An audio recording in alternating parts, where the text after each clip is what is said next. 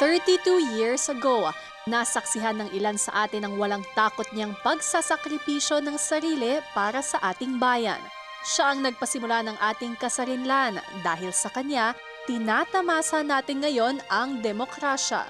Ilang dekada man ang lumipas, patuloy nating aalalahanin ang kanyang kabayanihan. Patuloy nating ipagpapasalamat na dahil sa kanyang ipinakitang halimbawa, namulat tayong lahat na the Filipino is really worth dying for. Kaya para sa mga susunod na henerasyon, si Ninoy, ang magiting na ama ng ating demokrasya, ay laging magiging inspirasyon. Inspirasyong ipaglaban ng ating bayan, protektahan ang ating kalayaan. At sa paggunita natin sa araw ng kanyang pamamaalam, ipagdasal din natin ang mga kababayan nating tulad niya ay handang magbuwis ng buhay para sa ating mga kababayan.